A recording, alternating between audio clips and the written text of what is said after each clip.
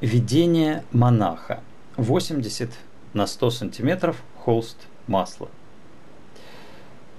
Несмотря на то, что эта работа э, выполнена у меня в манере фантастического реализма, она все же находится на самой границе с сюрреализмом.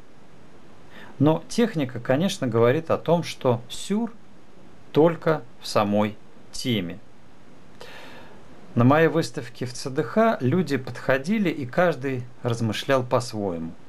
Одни пытались представить себе, о чем думает монах, а другие даже вспоминали розу мира. Раскрывать смысл картины я не буду, а дам лишь одну подсказку. Роза на таком расстоянии должна быть, по идее, минимум 2 километра высотой. Что это? Символ?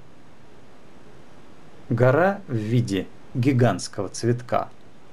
Видение человека с философским мышлением. Фантастическое произведение – это поставленный автором вопрос, отвечать на который должен зритель в меру своих знаний, опыта, рассуждений и ассоциаций.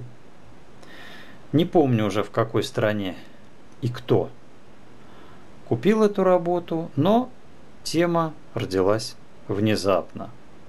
Я эту картину написал к выставке в ЦДХ в 1995 году.